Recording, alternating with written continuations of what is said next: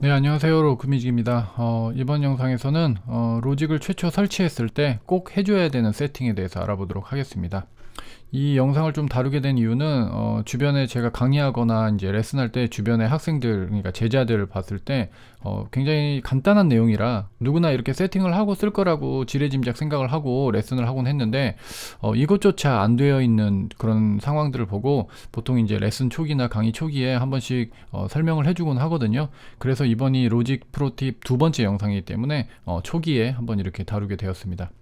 바로 한번 볼게요 로직 프로 X 항목의 preference 요 내용을 보시면은 여러 가지 항목이 있죠. 네, 여기에서 아무래도 이것저것 세팅을 하게 되는데 유용한 내용들은 하나씩 하나씩 이제 나중에 따로 어, 소개를 좀 드릴 거고요. 오늘은 최초에 세팅하는 것만 좀 다뤄보도록 하겠습니다. 물론 어, 사람에 따라서 그런 세팅이나 이런 것들이 좀 다를 수 있고 뭐 그렇겠지만 저는 뭐 그냥 굉장히 간결하게만 몇 개만 소개해 드리려고 합니다.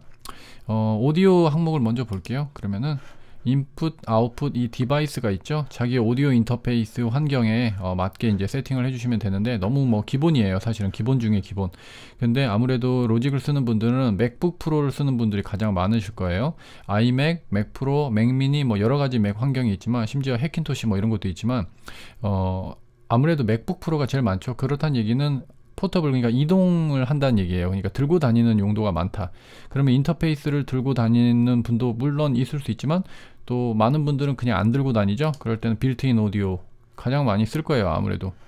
근데 이제 제대로 정식으로 음악 작업을 하겠다 그러면은 오디오 인터페이스를 구매하고 또 그것도 같이 들고 다니면서 쓰실 텐데요. 그러면은 요거 설정 꼭 체크해 주시면 되고요. 집에서는 오디오 인터페이스 썼지만 내가 들고 나갔더니 어, 그렇지 않다. 그런 환경들이 바뀌었을 때는 이런 부분들 꼭 체크를 한번 해주셔야 됩니다.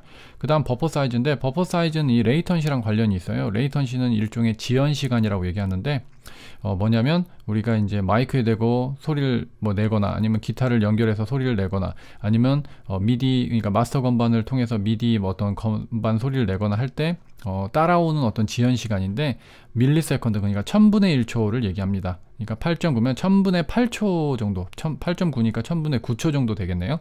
뭐 그렇다는 얘기죠. 지금 뭐 이렇게 이제 되어 있고요. 사실은 아웃풋으로 나오는 소리는 4.3 millisecond밖에 안 되기 때문에 굉장히 이제 어, 순간이죠. 근데 어쨌든 버퍼 사이즈가 그거랑 관련이 있어서 버퍼 사이즈가 높으면은 이게 latency 그러니까 지연 시간이 늦게 따라오고 약간 뒤따라온다는 느낌이 들 때도 있어요. 이걸 낮춰줘야지 아무래도 작업하기에 용이하겠죠. 근데 너무 낮추면은 컴퓨터가 좀 버거워할 때가 있어요. 그래서 자기 컴퓨터 사양에 맞춰서 쓰시면 좋을 것 같고요. 저는 개인적으로 128이나 256 정도를 추천드리고요 보통 맥북 프로 환경이 많기 때문에 내 컴퓨터에 굉장히 고사양 컴퓨터를 쓰신다 그러면 더 낮춰도 괜찮을 것 같습니다. 그리고 이 항목은 본인이 쓰고 있는 오디오 인터페이스에도 영향이 있어요. 어, 그렇기 때문에 좋은 성능의 오디오 인터페이스를 쓰면 훨씬 더 어, 좋은 latency 환경으로 쓸 수 있다는 거 그거 체크해 주시면 될 것 같습니다. 그 다음 두 번째 advanced 항목인데요. 이게 처음 최초에 설치하면 이게 체크가 전부 다 안 되어 있어요. 그래서 어, advanced 말 그대로 더 고급 사용자 그 기능을 쓸 수가 없게 되어 있습니다. 근데 이게 어, 다른 환경에서 로직을 배울 때는 그냥 당연히 이게 체크돼 있는 환경에서 막 배우고 또 익혀서 쓰다가 자기가 설치했는데 어, 왜 거기서 쓰던 이 기능이 여기 나는 왜 없지? 라고 하는 분들 질문이 종종 나와요. 그래서 해답은 바로 여기 있습니다. 체크를 다 해주시면 돼요. 사실은 뭐 항목을 보고 어 나는 이 기능 필요 없으니까 체크 안 하고 어 이 기능은 필요하니까 체크하고 뭐 이렇게 뭐 쓰실 수도 있겠지만 그냥 다 체크합니다. 그래서 로직을 이제 뭐, 뭐 아마추어 취미용이 아니라 전문가용으로 쓰겠다. 이거죠. 어, 전부 체크해 주시면 됩니다. 이거 체크 별것도 아닌데 안 하고 그냥 쓰면서 왜 나는 그 기능이 없지? 다른 사람들은 있던데 이런 분들이 있어요. 그냥 다 체크해 주시면 됩니다. 이게 두 번째고요. 세 번째 마지막인데요.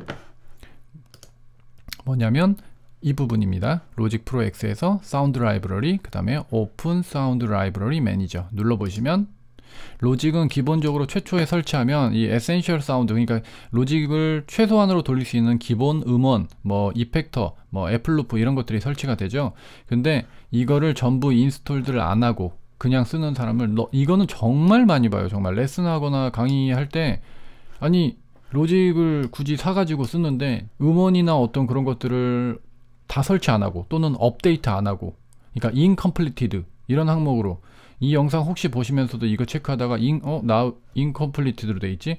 뜨끔하는 분들 분명히 있을 수 있어요. 전부 install 해가지고 꼭 쓰시기를 추천드립니다. 추천이 아니고 이건 무조건이죠. 왜냐 돈 주고 사서 쓰는데 당연히 어, 최선의 어떤 그 음원과 어, 가상악기 또 plug-in effector, 애플루프 이런 환경을 써야 사실 로직의 강점을 누릴 수 있는 거, 거든요 제가 개인적으로 생각하는 로직의 최고 강점은 바로 이거거든요. 사실은. 뭐 프로그램이 자기 손에 맞는 걸 쓰는 게 가장 좋다는데 정말 맞는 얘기죠. 근데 저는 큐베이스 쓰고 로직도 쓰고 뭐 에블톤 라이브도 쓰고 하지만 로직의 장점을 하나 꼽아라 하면은 저는 이거 꼽아요. 이만큼의 로직의 어떤 방대한 어떤 데이터들을 그냥 그 프로그램 하나 사면 제공해 준다는 거. 그래서 요거 간과하고 쓰시는 분들 굉장히 많이 봤거든요. 그래서 최초에 설치하고 나면은 이게 다 설치하는데 시간 좀 걸리고 하거든요. 와이파이망 어떤 인터넷망 잘 되어 있는 공간에서 어, 시간 좀 내 가지고 이렇게 install 쭉 걸어 놓고 어, 전부 installed 되어 있는지 확인하고 쓰시기를 꼭 권해드립니다. 어, 이게 어, 간혹 가다가 어, 로직이 좀 메이저 업데이트가 되거나 아니면 로직이 좀 이렇게 뭔가 이렇게 새로운 뭔가 나오거나 하면은 서버가 사람들이 많이 몰려요. 전 세계에서 사람이 몰리니까 간혹 가다가 install이 제대로 안 되고 막 중간에 끊기고 서버가 막 버벅거리고 버퍼링이 심하고 이런 경우 있는데 그러면 조금 여유롭게 조금 있다가 하셔도 돼요. 근데 어쨌든 꼭 전부 installed가 되게 어, 해놓고 로직을 사용하시기를 추천드립니다. 네, 오늘은 어, 꼭 체크해야 될 세 가지 어떤 항목에 대해서 알아봤고요. 어, 이제 어, 그 중에서 이제 더 세부적인 내용들은 나중에 하나씩 하나씩 따로 떼가지고 또 다뤄보도록 하겠습니다. 어, 다음 영상 또 유용한 꿀팁 어, 기대해 주시고요. 어, 오늘 영상은 여기까지입니다. 감사합니다. 로크맨이었습니다.